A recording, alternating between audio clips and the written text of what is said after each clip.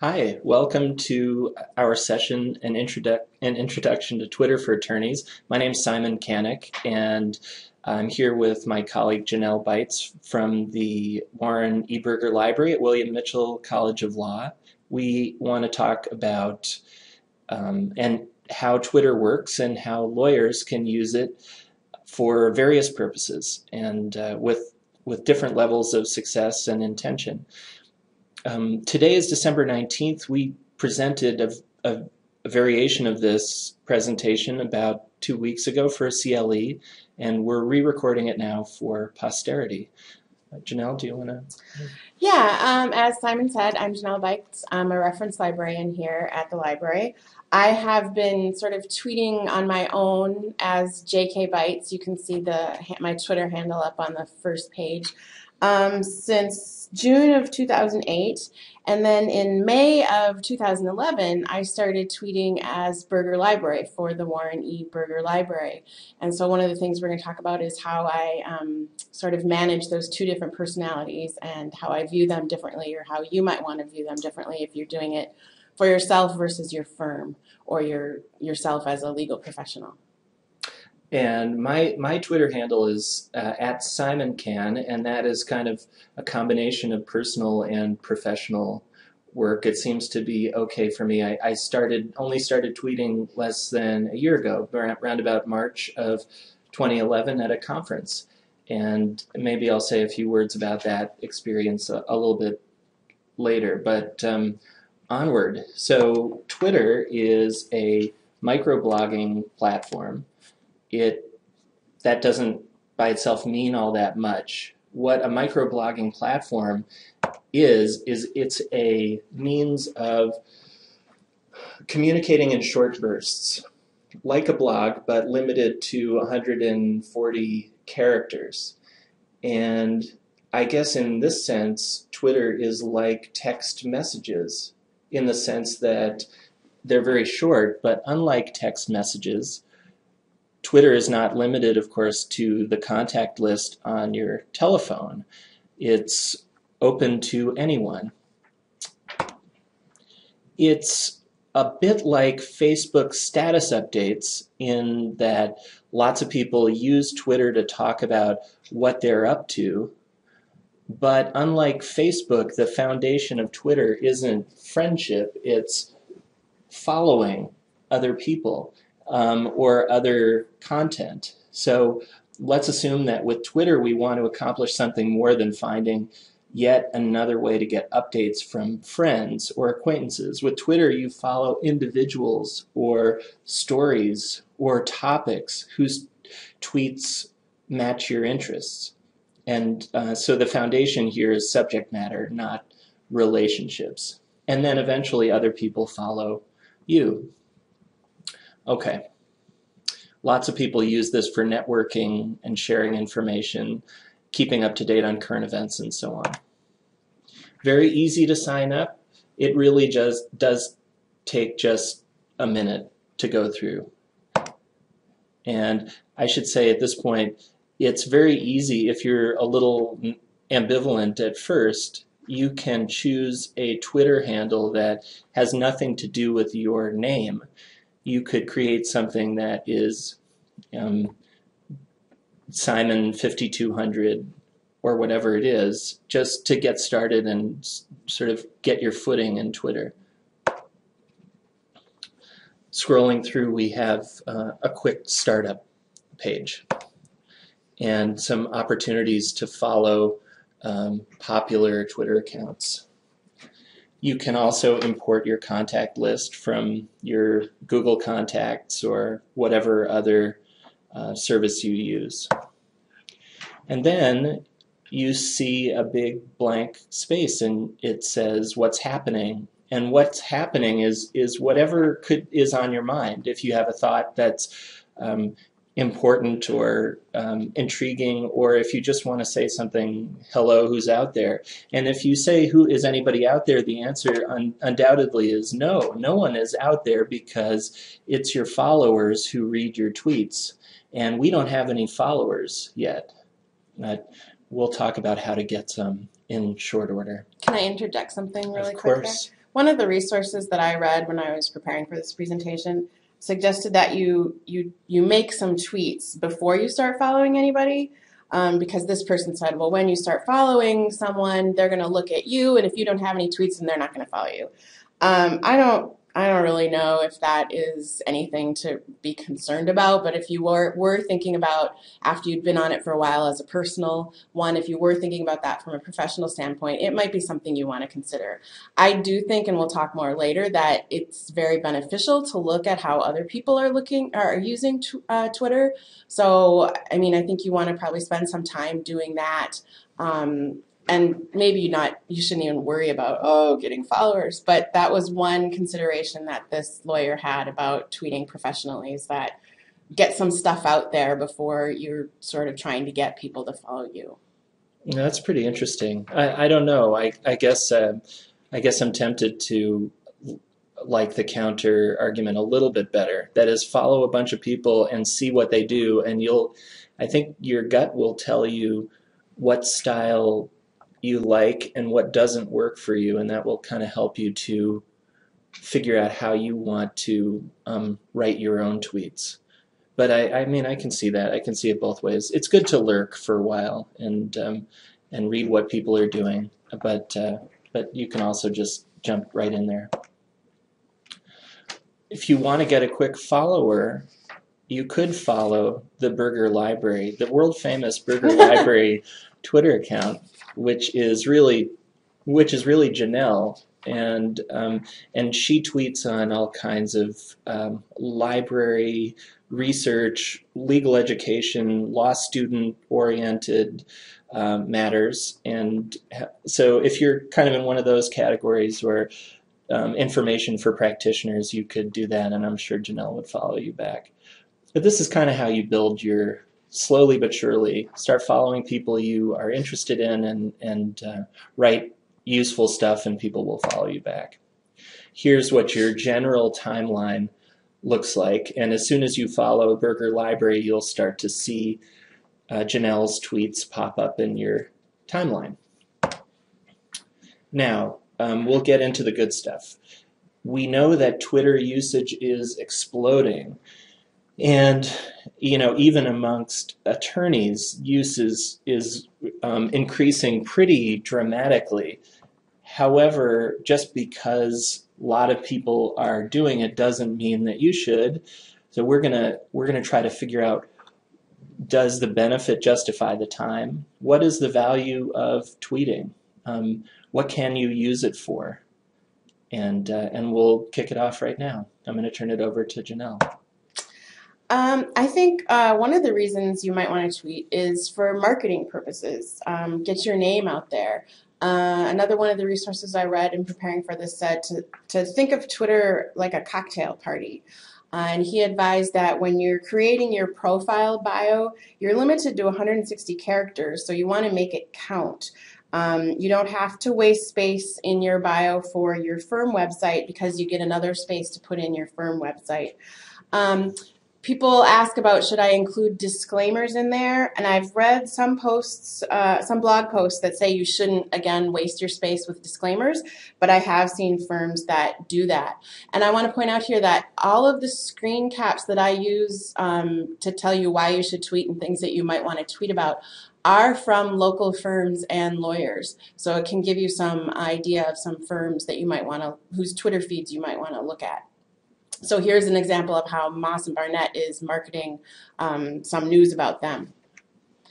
Another reason, again, I guess this is this is the cocktail party, is to network.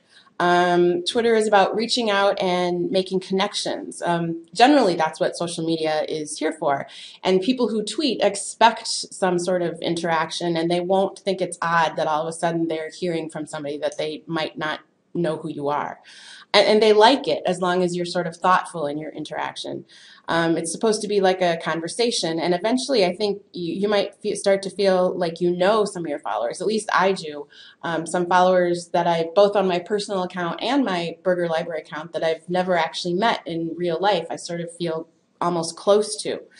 Um, again, you want you want to be wary of directly sol- soliciting potential clients, but you should feel comfortable reaching out to other users that you follow or that follow you. Do you think it's Do you think it's different um, than Facebook, for example, in terms of because I, I, I hear I think I hear people saying you know they they get to know different people on Facebook and eventually they you get to know them even though you don't really know them all that well. Or I mean, how is Twitter? Do you think different For me, and I suppose I'm, this is different for different people, and, and I don't have a a business Facebook account, but my personal Facebook account, I only am friends with people that I'm actually that I've actually met, that I actually know in real life. Mhm. Um, and Twitter is more people who are interested in the same things, like you said at the beginning, interested in the same things that I am. I've noticed their tweets, and that you know makes me connect in some way, or they've noticed my tweets um, and want to make a connection. Um, but there are far more people on Twitter that, again, that I've never met. And Um, have you become Facebook. have you become Facebook friends with some of your Twitter acquaintances? One or two of them, but then, but I've actually because they were friends of friends or something, so Uh-huh. I, I've actually Right. met them. There's nobody that I'm friends with on Facebook that I haven't actually met. Right. Okay. Very interesting. Another reason you might want to tweet is um, to be up on current awareness. For example, the, the death of Osama bin Laden broke on Twitter, and yesterday, the death of Kim Jong il, I first learned about it on Twitter. Um, there's probably no better place to learn about new news items first. If you log on to Twitter, you'll see a, a trending stories over on the right hand side, or it used to be on the right hand side. They recently changed their platform, and you'll see what what that is is what's currently being tweeted about a lot. And most of these things are pop culture items that you probably don't really care about, but still, some real news items do manage to make it through on the trending topics. You know, I, I think uh, Kim Kim Jong Il actually died from loving his country too much, or something like that. Something like that, I think Yeah. it was. Another reason to tweet would be to keep tabs on your clients. Uh, if your clients are tweeting, um, you'll probably want to know that, note that, and may want to follow them. Um, there are some PR gaffes that have started with a tweet. So if you're in the uh, business of advising your clients on some of those issues, you would you'd want to pay attention to that.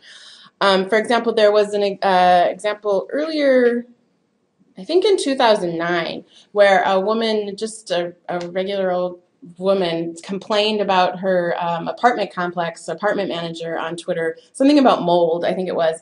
And she had like 20 followers at the time. But because of that tweet, her apartment manager, the complex, sued her. And then, of course, this blew up and it was all over the, um, the tech blogs and the social media blogs and the Huffington Post. So it got a lot more exposure than her own little tweet. Um, and the case was eventually thrown out. But those are, and, and you could also want to keep tabs on your clients for good reasons, as Lockridge is doing here. I think it's fairly rare to get sued for something you tweet. In uh, so don't worry too much. No, don't worry about it. Um, research is another reason you might want to um, be uh, tweeting on Twitter. Uh, you obviously wouldn't make Twitter your end stop for research needs, but it's not a bad first step, especially for newer or um, technology driven issues. And you can um, do a search, like I did a search here for patent law, and then if you have, if you like the results, patent law is not a terribly good example because there are a lot of um, results there. It is a big topic on Twitter. Um, but if you liked the results and you wanted to keep up on that, you could save that search and keep coming back to it and see what people are tweeting on patent law. Or, you know, you could search your client's name or something. Um, following along with this, the research is crowdsourcing. It's sort of a corollary or counterpart to the research. Um, if you want to get other opinion, others' opinions on something, um, presumably you trust the the people who you're following or who are out there, or you can decide whether or not when you get their response whether or not you trust them. Um, but you can just sort of throw a question out there, and and and you actually get responses, and it's really pretty interesting. You know, I think um, I think that with disintermediation, with with um, individual access to lots of different research resources, e- even if it's not Westlaw or Lexis, but the internet, people um, may not think of actually talking to, to to others, to experts, to librarians or practitioners. And so many times I have seen law students doing research um, practice exercises, going around and around in circles, spending hours and hours on projects when they could have picked up the phone and gotten an answer from someone in no time at all. And Twitter is a way of either getting that answer directly or identifying the people who know the answer quickly, and then you can make contact with them. And uh, and most people are nice and will help you. So take advantage. Especially if you follow librarians. Librarians are quick to answer uh, answer on Twitter and are very eager to to share the information that they know. Yeah, and just generally very cool people. Uh, another big reason to be on Twitter is to follow conferences. Uh, Twitter is very useful to virtually attend conferences that you can't otherwise attend, or even if you can attend them, if you can't get to all of the sessions, um, you could peek in on what's happening in one session, uh, or you could get real time opinions on sessions that you're actually attending. Um, uh, most conferences, especially tech related conferences, are now saying up front, here is the hashtag for our conference. And so you can follow that hashtag or, or put it into a Twitter search and um, arrange to, to keep following it. Um, and there are also various Twitter apps and add ons that more easily enable you to follow these hashtag conversations. I think Simon's going to talk about some of them later. Um, so that's one thing that you can do. And and you know, uh, well, I don't know if you're like me, then um, you always you may always pick the wrong session at a conference. I am the world's worst at picking um, interesting sessions, and I always am sitting there in you know listening to something really boring where you can hear peals of laughter coming from next door, and you know that they're just the presenter over there is really killing it. So not only can you listen in on the one next door that you should have gone to, but you can also make yours much more interesting. So, for example, um, I became interested in Twitter in the first place at a conference presentation that didn't. Um, that wasn't doing it for me, but I went online and I was monitoring the hashtag, and the people who were sitting in the room with me were uh, were talking about what the presenter was saying and you know not in a overly kind of rude and hostile way, but really I thought very constructive. And suddenly my interest level went up and I became engaged again. So then I started looking forward to it. And it was communicating with those folks also helped me for the first time to get some followers, which was nice. And finally, um, the main reason that I personally tweet is because I think it's fun. I really enjoy it.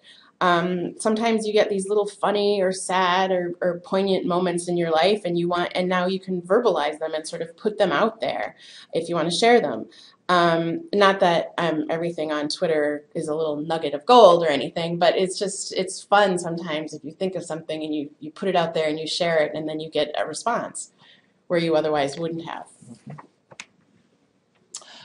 Okay, so that's some reasons you might want to tweet. And now I am uh, going to show you a little bit of some uh, people that you or organizations that you might want to follow or who else is tweeting.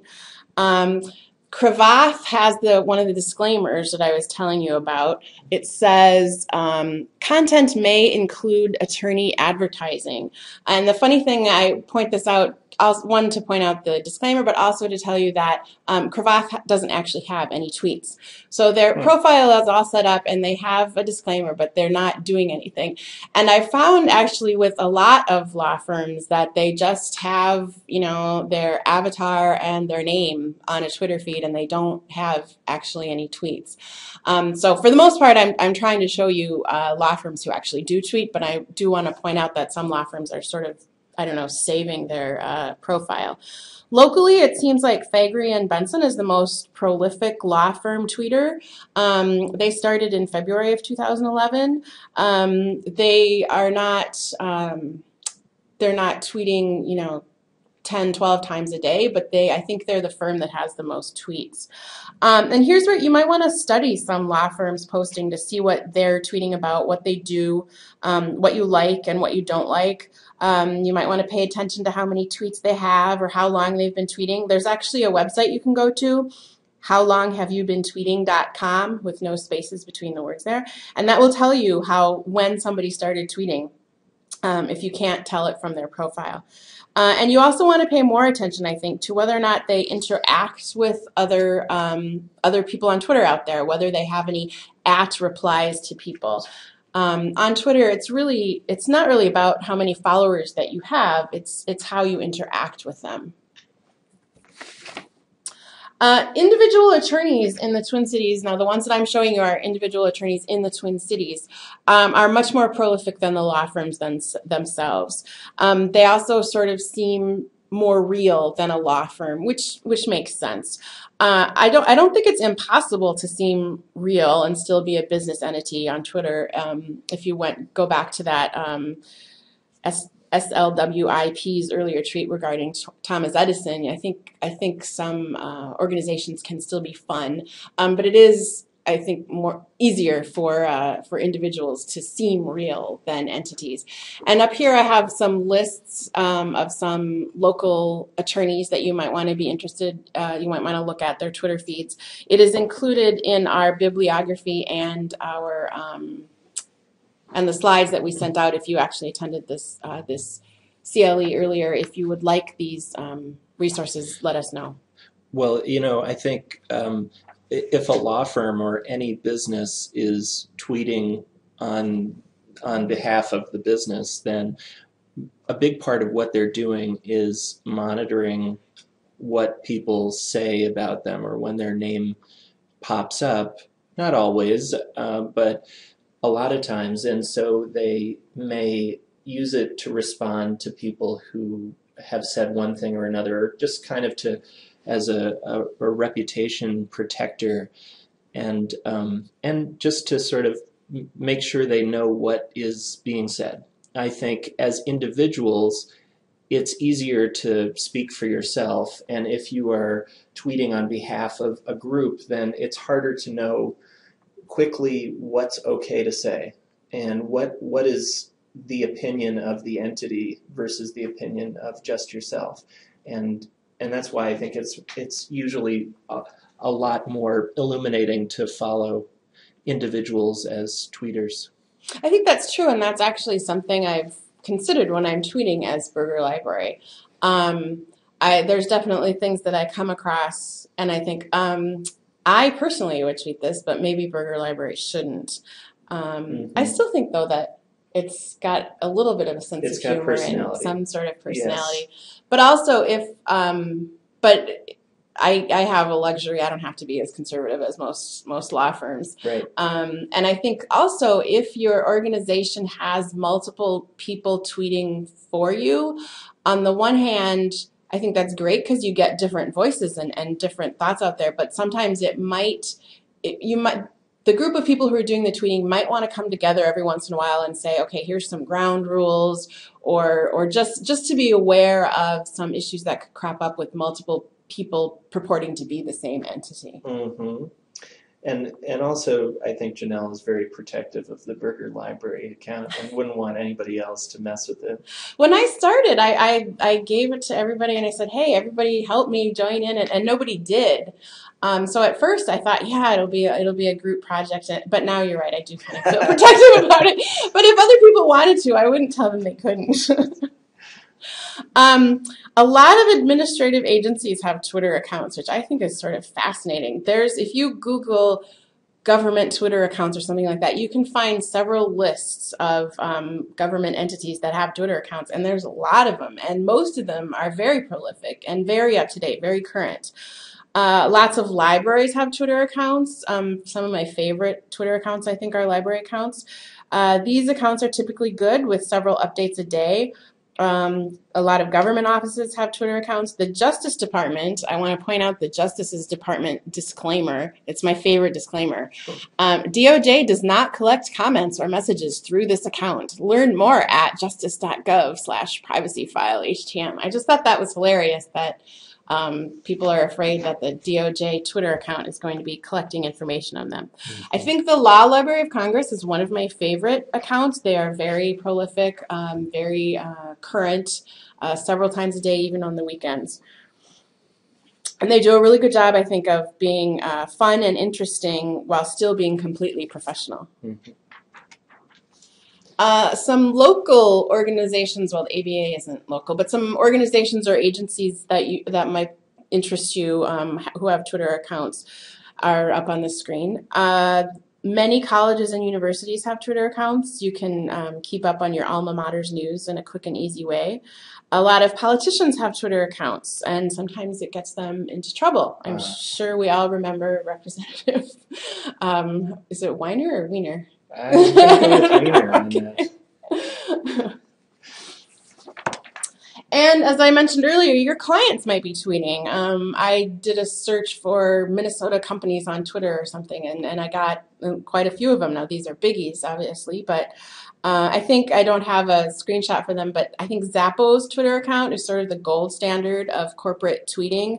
Um, they are, and I've I, I don't follow them personally, but I have looked at it several times. It's fun, it's interesting. They do little contests, they actually interact with their followers. Um, and it, but it's still completely professional. If your client tweets, you might want to um, know about about it, or or maybe you don't.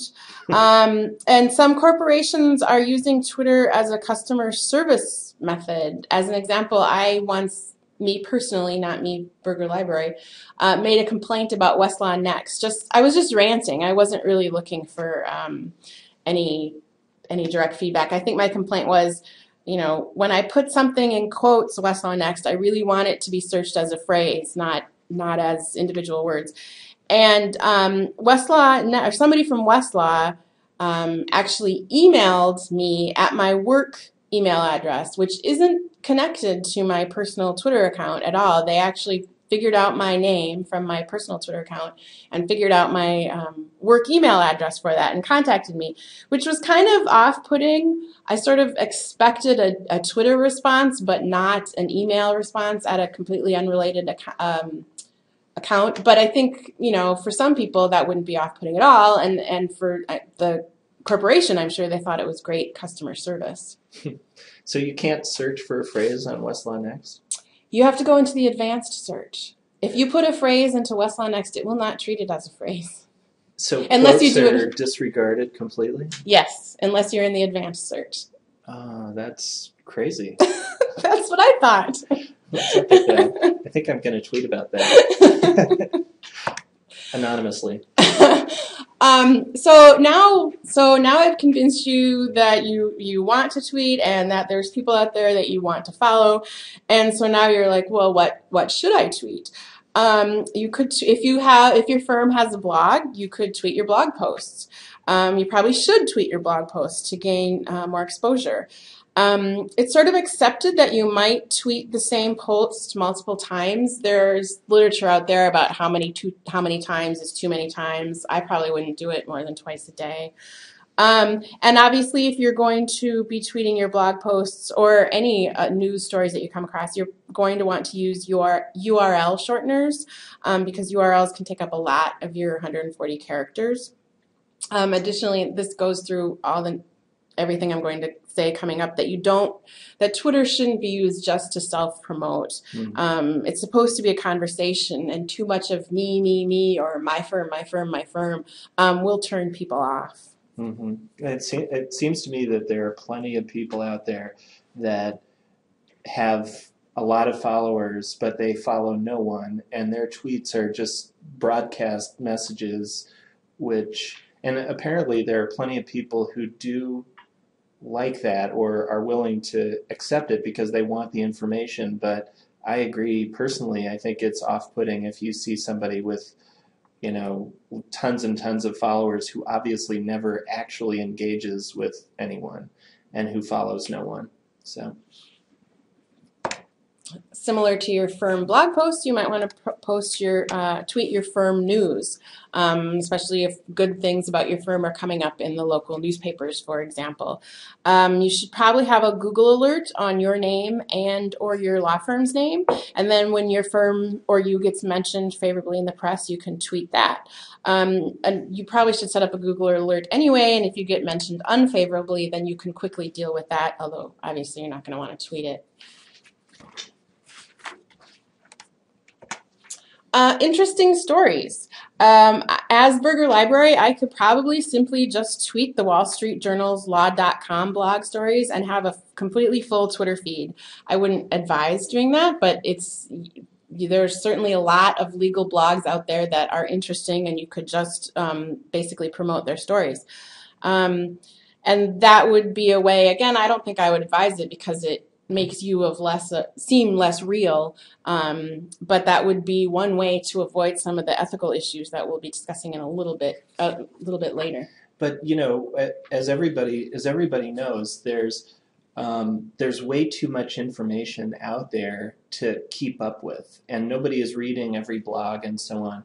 And if you end up following people who post fascinating stories from a variety of sources, then I think that's quite valuable because, and and I, I try to do this too. I, I guess I, I figured that things cross my path from a variety of different sources. Sometimes people email me an article that um, that they like, or I might pick it up from Twitter, or I might pick it up from Reddit, or I might pick it up from a Google search. And I think generally, if I if it's something that piques my own interest or curiosity, then I figure somebody else might want to know about it too. And I'll put it out there.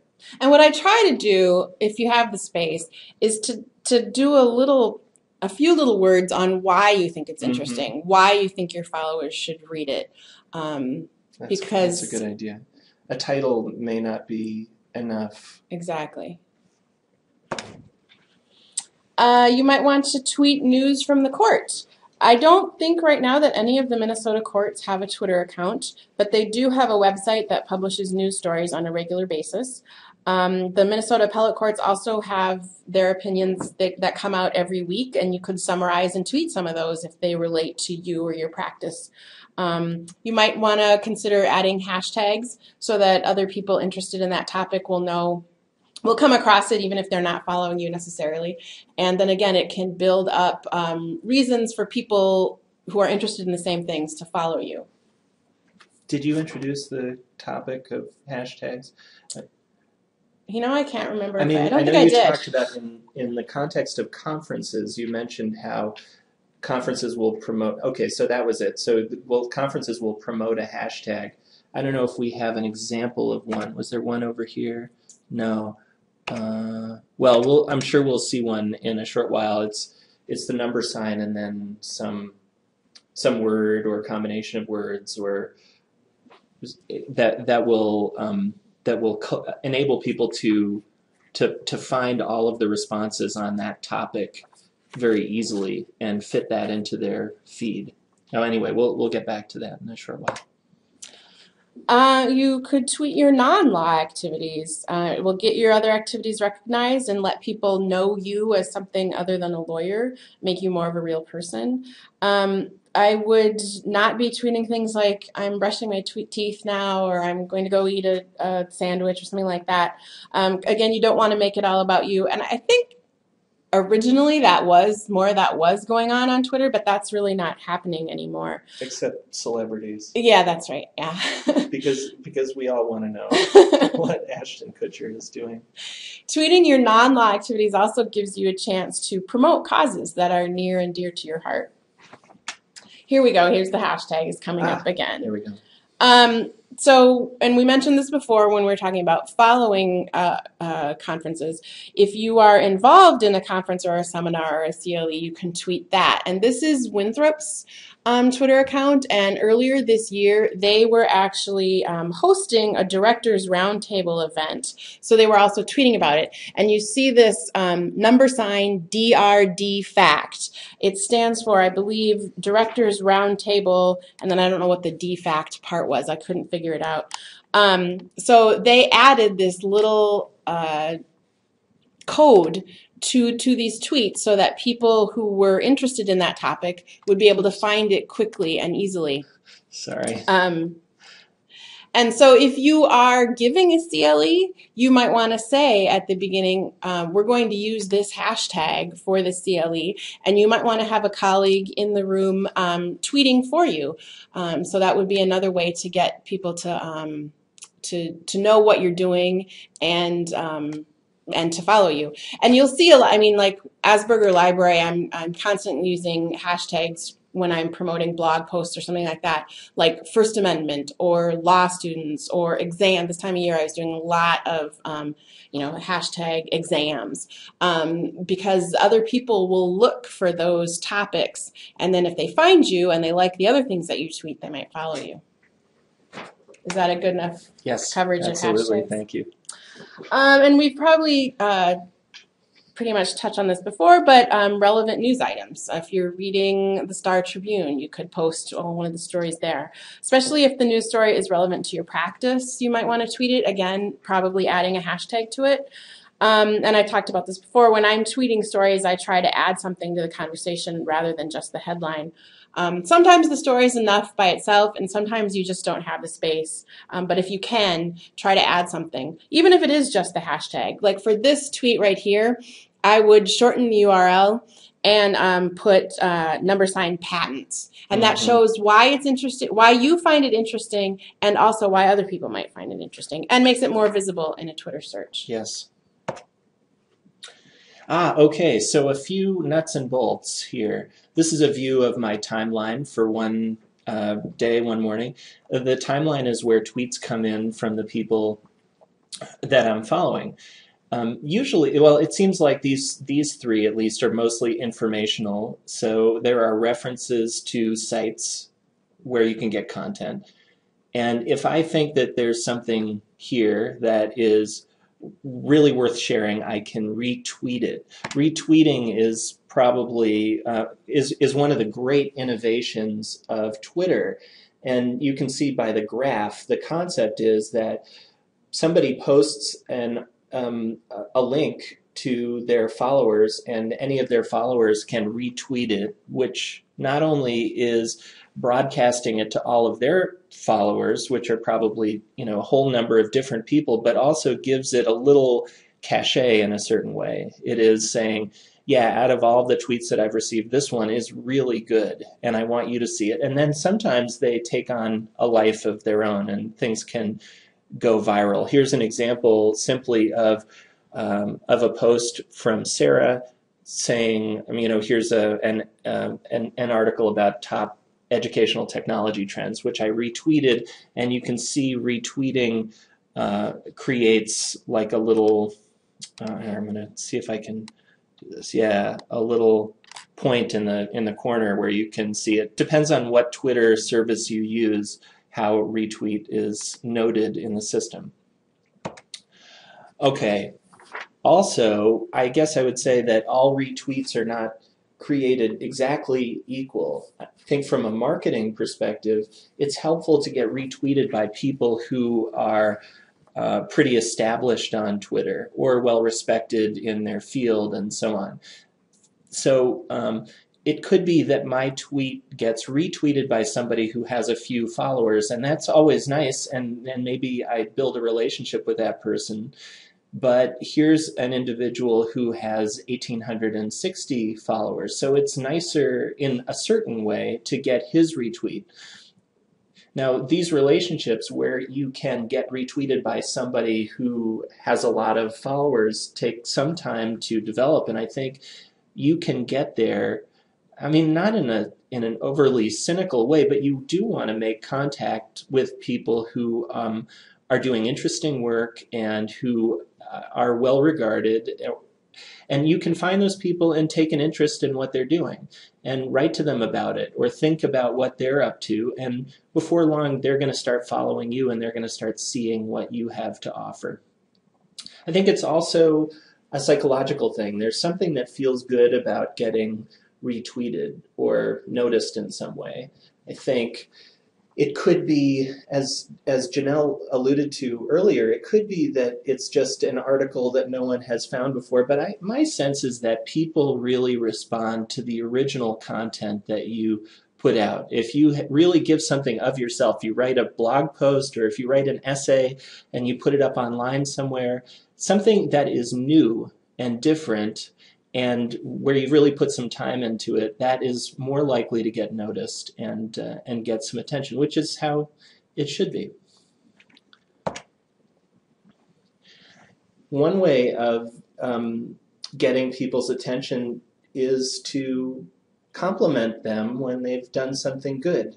Again, not in not in at least not entirely in a kind of marketing way, but just remember people like that um, just on a personal level, people like it, and don't forget to be nice. So I think that, for example, Fastcase has a really good means for finding cases. It's different than what any other service has on the market. It's very visual and and quite powerful. So I wanted to say that, and um, Ed Walters is the CEO of Fastcase, and I figured I would let him know that I think it's great and he was appreciative of that. And I probably their team was appreciative of the the positive press. So that's a nice that's a nice thing as well. Okay. Um, a great way of finding people to follow is to think about the people who you already follow on Twitter and, and whose tweets are uh, you know that that they affect you in some way or that they have a high success rate in terms of you know putting forth good content content that you like. So just for example if i think that sarah glassmeyer has um, a lot of useful things to say then what i would do is is look at the 220 people that she's following. And there's a really good chance that um, that she has a lot of um, uh, followers who are worth following in their own right. And I find that by this process of going through a little bit, I branch out far beyond libraries or my own kind of my own little universe and I start finding people who are tweeting about subjects that are maybe indirectly related to what I do but absolutely fascinating stuff and occasionally um, they have a meaningful effect on what I'm doing. It really informs it in, in a new way. Ah, and, and this is just uh, a slide that conveys that concept. I can look at uh, Sarah's followers and decide to follow them as well. Okay, so here is the slide again of my timeline. And Janelle mentioned before the URL shorteners. So instead of using a super long link from a website, you should uh, shorten it. And you should do that, really. I mean, this is this is important advice because again, you just have you have such a small amount of space that you want the URL to take as little space as you possibly can. The URL shorteners, there are some there's one that's built into Twitter. There are lots of others that you'll see around. Google has one. You can see the bottom slide, the bottom uh, um, tweet there. But the one that I use a lot is bit.ly. Um, you can see that in the middle tweet. These are great not only because they shorten your URL, but because they give you a sense of, sorry, they give you a sense of who's using your link. So bit.ly, for example, tracks the amount of um, a traffic that your link generates on Twitter, either through people directly clicking on it or if people have retweeted it, it captures all that. And so I can find out how many people have clicked on it and I can find out sort of over a long period of time what kinds of things my followers are interested in reading and what kinds of things get no clicks. And you can do that if you have a, a blog and you want to keep track of like, are people just sort of stumbling across my blog or are they coming because I'm directing them to it? That would be another reason to, to get uh, use bit.ly or, or, one of the other URL shorteners to tell how your various efforts at social media are working and which mm-hmm. ones are working better than others. That's right, because it will tell you that you know some some percentage of your traffic came from, say, an email, direct email a link, and some of it came from Twitter, and some of it came from, is that what you Yeah. mind? That kind of thing, or some from a Facebook post. Mhm. Yeah, it, it really is, it's good analytics there. And here's the timeline again. Here's an example of a hashtag. This one is education. As you go along and start to tweet and start to gain followers, you'll start to notice hashtags. And if you click on one of them, for example, if, if I want to see what other people are posting about education, I can just simply click on the hashtag for education and then I'll get results for it. And you can see there's, I mean, these are people who I haven't, I've never followed and probably never heard of before. But as I, as I go through and scroll through them, I can see that there are some pretty interesting things. It's a good way of finding other people to follow, or as you can see up on the top of the screen with save the search, I can simply save the hashtag because maybe I don't want to follow all of these people, but I do want to follow them for the purpose of following education related tweets. Anybody who tweets with this hashtag will pop into my timeline as well, or one of my saved search timelines. And one last thing before I turn it back over to Janelle. I think th- there's nothing in particular that's wrong with Twitter.com. And as a matter of fact, I believe this has changed and you know in this slide ha- would look different today than it did a couple weeks ago because they have been making a lot of changes to their interface but people who tweet a lot tend to find um, fault in the interface or they find that it's limited after a while so there's nothing wrong with it but you should know that you can see your information in lots of other ways. There are many different interfaces for Twitter mobile ones, and browser based ones, and software based ones. Here's an example of one that uh, is called TweetDeck.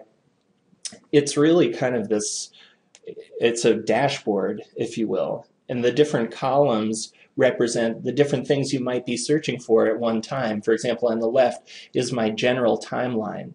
The second one is anytime my Twitter handle gets mentioned. So if somebody retweets something that I had to say or sends me a message, it will pop in there.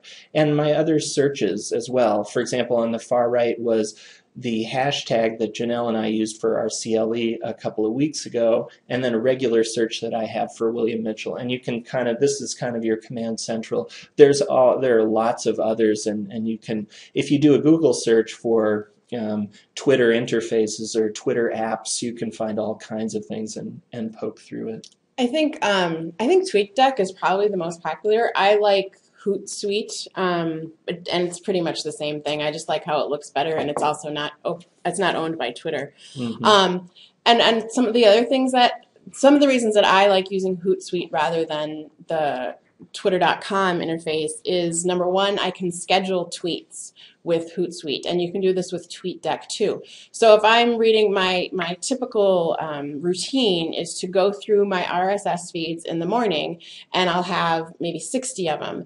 And instead of tweeting all the stories that I find interesting all at once, so that I sort of clog up people's Twitter feed, I can schedule them like one every hour throughout the day or something like that. So that's the big thing, the, the main reason I think uh, I like to use Hootsuite. The other reason is um, Simon talked earlier about earlier about retweeting.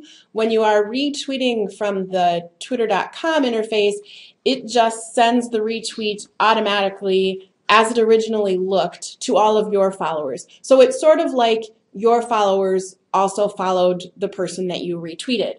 Um, when I was talking earlier about adding something to the conversation, when I retweet people, if I can, I like to add something to the conversation. Say why I'm retweeting it, why I found it interesting. Again, if I have the space. And Twitter.com's interface won't let me do that. But Hootsuite and TweetDeck do. So those are the um, big reasons. I think also people like TweetDeck and Hootsuite because you can, for one, you can combine it with your Facebook. Um, uh, page if you wanted to. And if you had two Twitter accounts, you could look at Mhm. them both at once. That's always been too confusing to me, and I don't want to mix up my Twitter personality, so I don't do that. But I think that's a big reason people use TweetDeck and Hootsuite. That's that, that's all really good advice. I, you'll notice as you start using Twitter that, uh, well, you can see up in mentions there. Um, the first two are um, retweets with nothing added, but oh well, that's not true. Actually, on the on the second one down, uh, John Mayer has added some content at the end of the tweet.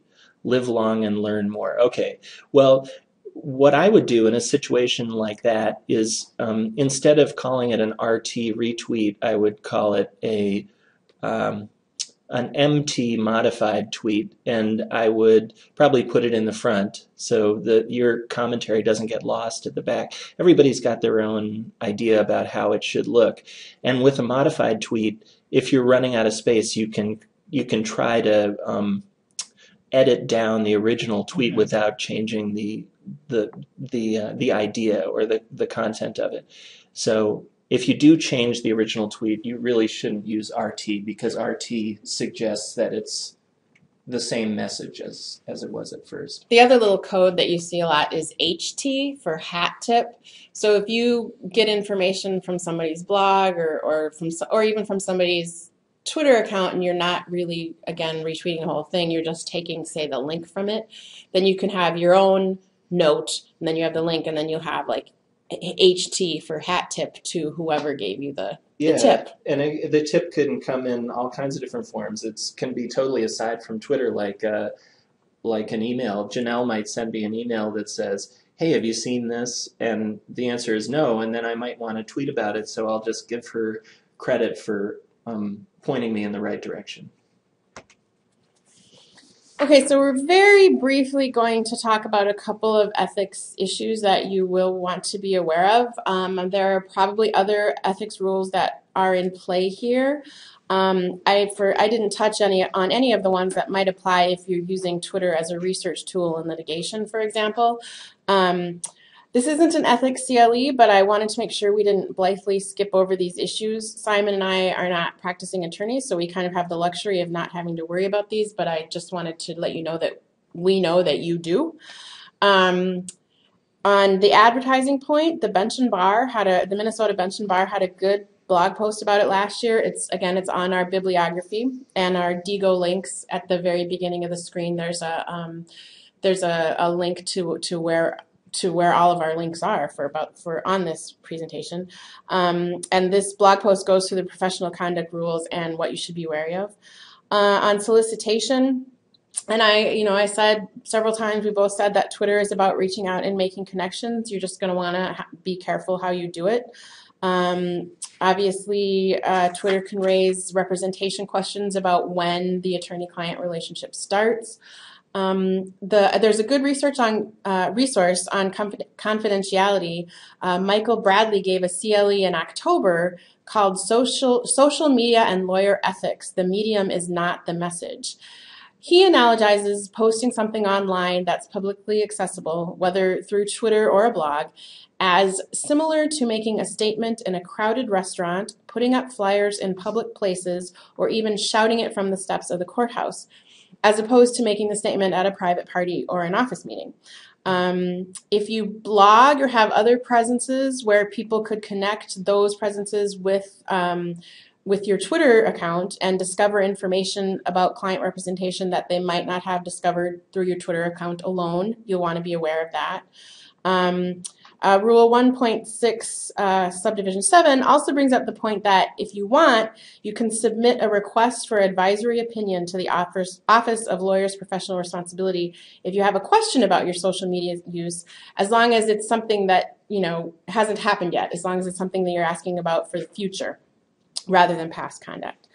Um, false and misleading statements. Uh, don't lie or inflate yourself on Twitter or other places on the web. Um, and I, I think kind of that's sort of just a general uh, tip for on the web. You probably don't want to lie about yourself.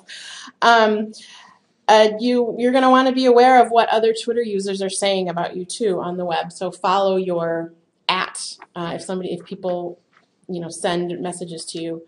Um, the jurisdiction question, I just think is sort of um, interesting uh, because the internet is not geographically static. You may want to be aware of uh, other states' ethics rules with regard to use on Twitter. The ABA has a really good document um, demonstrating some of the differences in state advertising and solicitation rules, so you'll want to look at that. You'll also want to know that, or should know that the ABA is discussing these issues um, with its Commission on Ethics 2020, and you want to, you probably want to keep your eye open on that. Again, it's in our bibliography. Um, so far, the um, the Minnesota board has not uh, made any proclamations about Twitter um, or really very many social media uh, social media issues. Although they have um, had some discussions about um, cloud computing and uh, what's the word I'm looking for um, metadata. Okay, I think we're gonna we're gonna end up um, just talking for a, a, minute or two about how Twitter fits in with everything else in life. There's just too much. I understand there's too much. I feel that way too. Um, Google Plus has come out recently. It's Google's, I think, third social network in the last 18 months. Facebook is everybody, everybody's on it. There's LinkedIn, there's Twitter. How does it fit in? What are you supposed to do? And not to mention, you may blog, you could use Blogger or WordPress or Tumblr and put all that stuff out there. And so we're asking you maybe to add another thing. I don't know. How do you want to play it? And I think the issue in in some is finding out where at least for me finding out where the conversations are happening online and being active and in some way establishing your professional digital identity. Uh, what is your online voice? Who are you? Who do you want to be in this environment, whether the environment is Facebook or Twitter? I, I think everybody, every attorney, every individual has to become comfortable sometime with posting information online. So your preferences in terms of, you know, do you like Twitter versus something else? That's part of it, but you should be somewhere. And I think the, the, the key point perhaps is where are the conversations taking place online? It could be that for your niche area, people are using discussion forums on LinkedIn. Or it could be that there is an old fashioned listserv on your topic and you just receive the messages by email and sometimes participate that way. Or it could be that it's Twitter or some combination of those things. Um, figure out where the conversations are happening and participate. And if it's not on Twitter, you could use Twitter and strike out on your own. I mean, it depends if your objective is professional networking or um, indirectly generating client contacts and so on. And it depends on what appeals to you. I think that it's important to be social and to be out there. So I don't know. Do you have anything to add to? Uh, no, I don't think so. I think, um, as you mentioned, like finding your voice and the voice that you want to put out there is um, important, and it, it takes some time. I um, I am pretty comfortable with Burger Library now, but I still have some things where I'm like, oh, should should Burger Library really tweet that, or um, what are students? My my main audience when I am being Burger Library is my is the students even though actually most of my followers are not are not students but that's who i'm always thinking of so if you have an audience that you're sort of directing things to i think it helps it helps to develop that voice um, and and I and I think that especially when I'm considering reaching out to one of the students, I want to do that. I because I don't want them to think that I'm a bot up there just tweeting um, blog posts. And actually, my my best interactions, my best responses have been to individual students about we'll say the candy at the reference desk. Or one time, one of the students was looking for Halloween costumes, and it had just happened that I'd read a really fun blog post about Halloween costumes. So I tweeted that to him, and he was very appreciative. Um, and so that's that's fun. Um, but I, I do also when they're complaining about things, I don't catch those tweets. I don't. That's that's uh, that's everybody needs to vent, and they're not necessarily looking for me to give them some I don't know guidance on how to deal with their finals and you know not to drink or whatever um, so I'm, I'm always sort of consciously aware of that and it took me some time to develop that who who burger library is as a personality as opposed to who I am on my own Twitter account. Um, there's probably an article in there somewhere. Mhm, it, it would be fun to write. Well, I, it's been an hour, and we, we want to thank you. Well, we want to thank you very much for watching. If you have any questions for us, be happy to uh, to chat with you about it on Twitter or offline if you like. Um, take care. Hope you have a happy holiday. Bye now.